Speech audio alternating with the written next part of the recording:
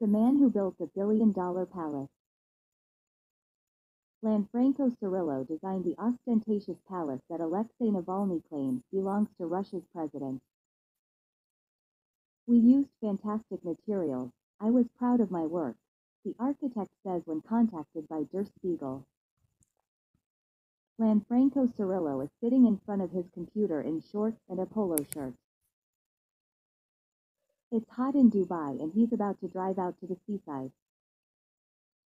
The architect, who has spent decades providing Moscow's super-rich with villas and Italian-inspired designs, left cold Russia long ago. He has even closed his architecture firm there. But people in Russia haven't forgotten Cirillo's work.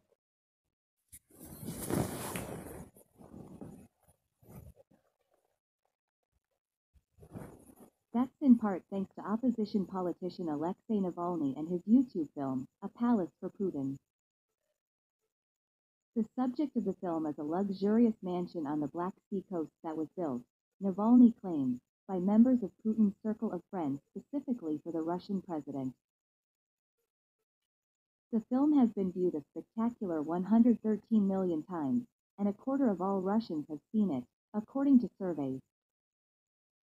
The architect of the palace? Lanfranco Cirillo.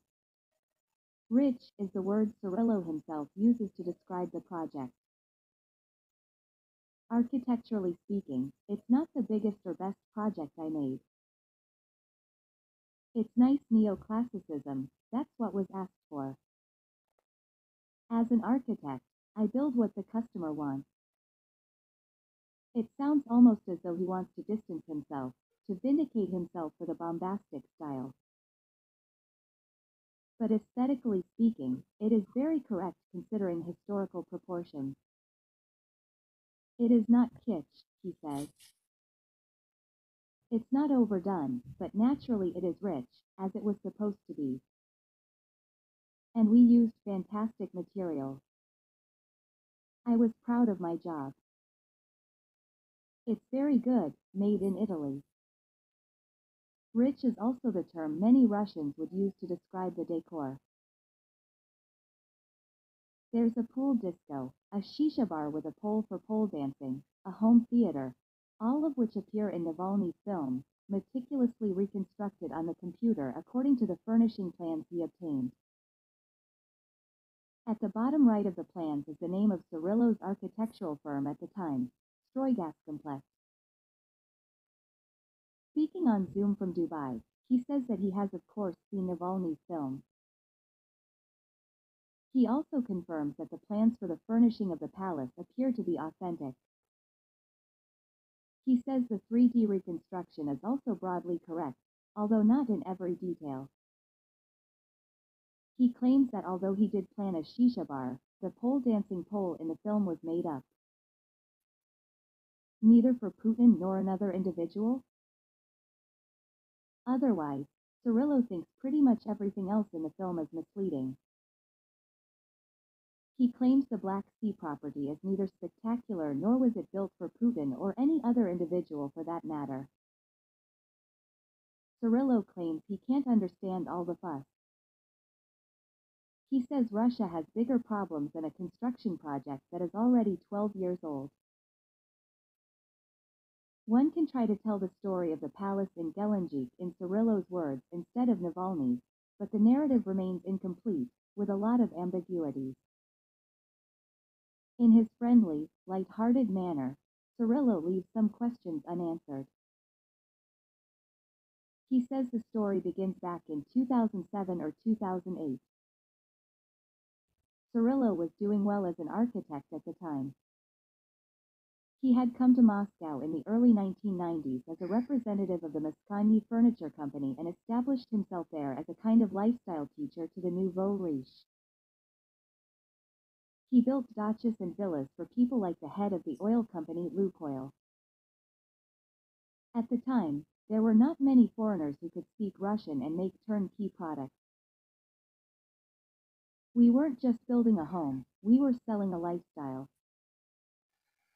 The homes came finished, right down to the wine glasses and Italian Sassicaia and Massetto wine. All you had to do was bring your clothes, Cirillo says proudly. He proudly says that he counts 44 billionaires on the Russian Forbes list among his clients, and that he has built in St. Petersburg, London, Paris and on the coasts of various seas. Most of his work is on Rublyovka, the extravagant residential area in western Moscow. He says he got crazy assignments because, in Russia, you get paid for being crazy, a golden bathroom for an airplane, a completely remote-controlled wardrobe, bathrooms made of semi-precious stones or mother of pearl, furnishings for 100-meter yachts. He employed 140 architects and engineers in his office, receiving clients by word of mouth with no internet advertising necessary. I was overbooked as it was, he says.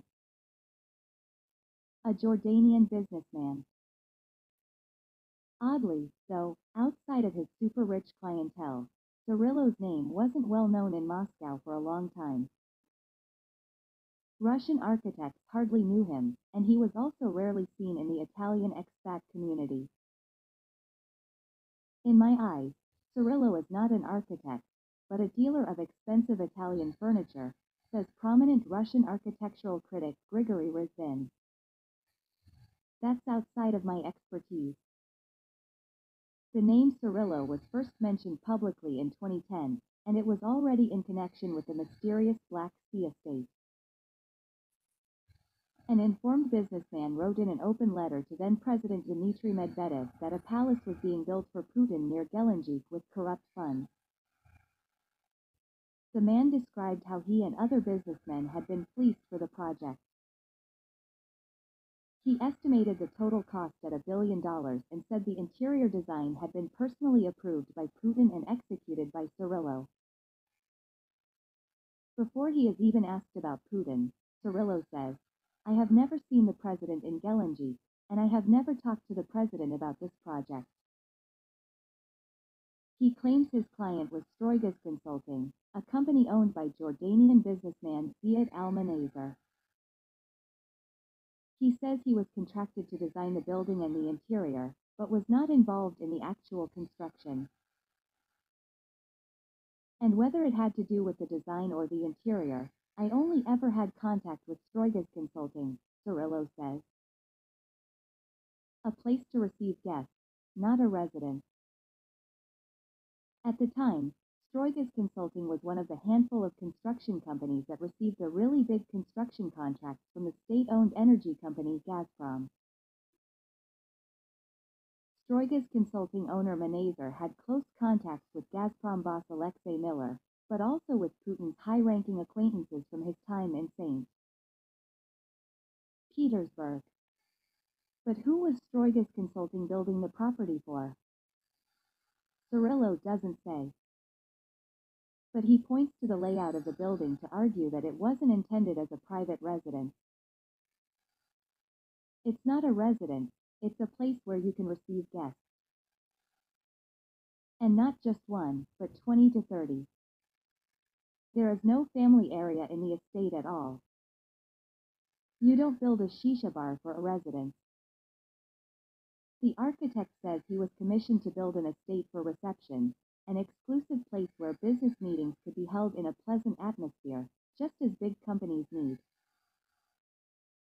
Back in 2008, money was still everywhere in Russia. It was a different time. And why should Putin own such a big place for himself, anyway? Every door in the country is open to Putin. If he wants to go to any villa, all he has to do is make a phone call, says Cirillo. The FSB Secret Service guards the estate. But oddly enough, a no-fly zone has been set up around the building. The FSO, the Presidential Security Service, guard the estate together with the Secret Service Agency FSB. Even vessels are prohibited in the coastal waters in front of the villa. It is also strange that some subcontractors describe their construction work as contributions to a residence of the presidential administration. And if Putin is wrongly suspected, why has the person who originally issued the contract not spoken out to spare the Kremlin an unnecessary headache? Only recently did Putin's former judo partner, Arkady Rotenberg, go on record recently as saying he was the current owner, claiming he bought the project, a few years ago, to develop an apartment hotel out of it. But he didn't show any documents. Cirillo says he visited the property 20 to 30 times, even though, as he claims, he wasn't involved in the construction process. He says he was just responsible for the design and later for the decor and furnishing, and that he last visited the site in the spring of 2014. Cirillo says he had nothing to do with the 16-story deep shaft and the 100-meter-long tunnel that leads from the palace directly to the water.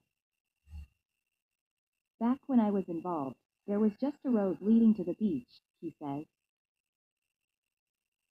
He did, though, he says, work on the park, including the Italian landscaping, the orangery, the guest house and the bridge leading to it.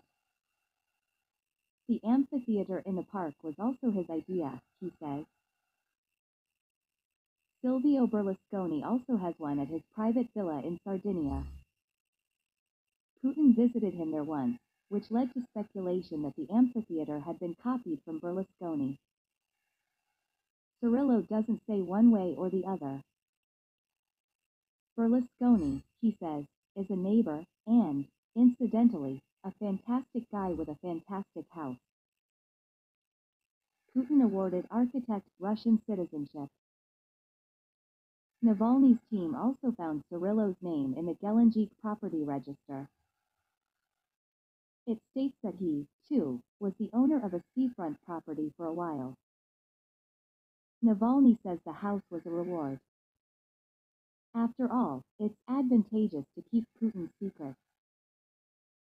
Cirillo finds the accusation ridiculous. I own three villas in Porto Cervo in Sardinia.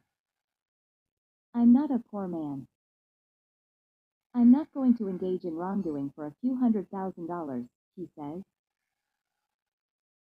In 2014, Cirillo was granted Russian citizenship by direct decree from President Putin himself, an unusual honor. Cirillo says this has to do with his involvement in Russia as a whole and not with individual construction projects. I am not Putin's architect. It would be nice, but it's not true. But yes, I had the opportunity to shake his hand. For a time, it looked as though Cirillo might graduate from being a designer of luxury villas to state architect. In the architectural competition for a new parliament building, his project made it to the short list. But the parliament was never built, and Cirillo says he's happy that's the case because otherwise, he would still be working on it now. He ceased his activities in Russia in 2015. His adult daughter had cancer and he wanted to spend time with her. He says he closed his office in Moscow a long time ago.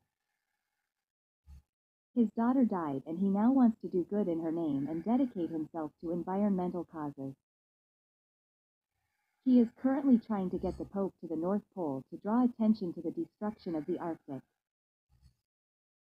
In a slightly absurd twist, the palace in Gelendzhik is currently further from completion than ever before. After it became infested with mold, the building had to be stripped down to the concrete walls, and the pricey Italian furniture and materials were removed. What Navalny shows in his film does correspond to the furnishing plans, but it no longer reflects the current state. The whole project seems a bit like Berlin's airport debacle, which saw the facility first open nearly a decade after originally planned. It simply can't make it to the finish line. Is the mold problem due to a design error? I'm not an engineer, I'm an architect, Cirillo says. But if you heat up a house and never open the windows, then of course a lot can go wrong.